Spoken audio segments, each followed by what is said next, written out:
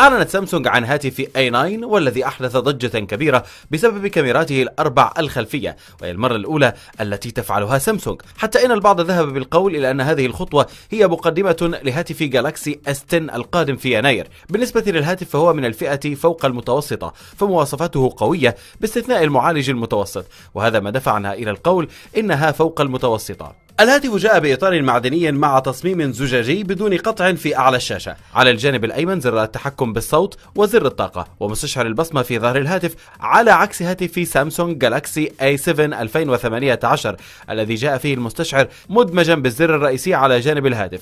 وعلى اليسار زر المساعد Bixby. وفي سقف الهاتف مدخل لتركيب شريحتي اتصال تدعمان شبكات الجيل الرابع. وذاكرة تخزين خارجية. ومن الأسفل مدخل لتركيب سماعات الأذن 3.5 ملم ومايك.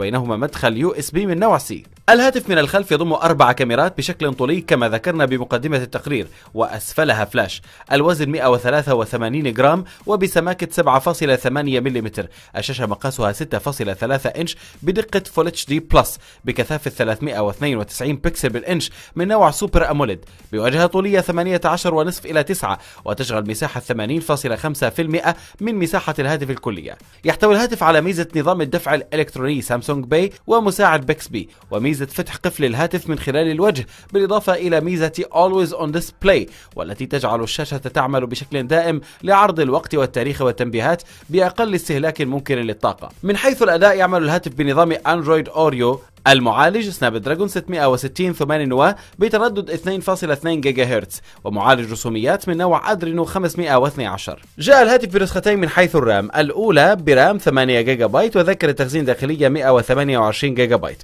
والثانية ب RAM 6 جيجا بايت وذاكرة تخزين داخلية 128 جيجا بايت ويمكن تركيب ذاكرة خارجية حتى 256 جيجا بايت الكاميرا الخلفية مكونة من أربع كاميرات الأساسية وهي الثالثة من الأعلى بدقة 24 ميجا بكسل بفتحة عدسة 1.7 والثانية بدقة 8 ميجا بكسل بفتحة عدسة 2.4 وجاءت أول كاميرا بالأعلى. وهناك العدسة الثانية بدقة 10 ميجا بكسل بفتحة عدسة 2.4 وهي مخصصة للتقريب البصري حتى ضعفين بدون أن تتأثر الجودة أي أنها 2x والرابعة بدقة 5 ميجا بكسل بفتحة عدسة 2.2 تدعم ميزة Live Focus مع فلاش والكاميرا الأمامية بدقة 24 ميجا بكسل بفتحة عدسة 2.0 إذا ماذا يعني وجود أربع كاميرات؟